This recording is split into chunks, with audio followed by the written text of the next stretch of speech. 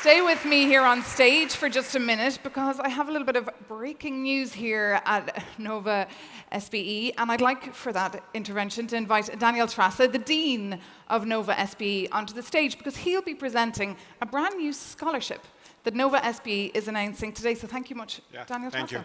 So first of all, uh, thank you for being here. Thank you for your presence. I know for Yulia and Higuri, it's been very easy to, tra- very difficult to travel here, so it's been a huge effort. So thank you for being here. It's been very clear that this is effort from all of us, and Nova has decided in this context too, and I think you can put up the slides, to offer two scholarships under Yulia Tymoshenko's name to try to bring students, high school students from Ukraine to do their university with us and to share this, this, this, this, this, this audience in a few years and maybe also help build Ukraine for the future. So thank you very much. Thank you. Thank you. Thank you. Thank you. Thank you.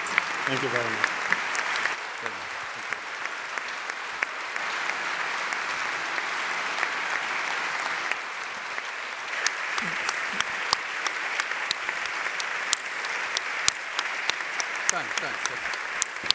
Thank you so much to the four of you, and I'm sorry that it was so short. I had so many more questions, our audience had so many questions, but you'll be around for the rest of the day, so hopefully we can talk more. Thank Take you. care. Yep. Thank you so much. Thank you.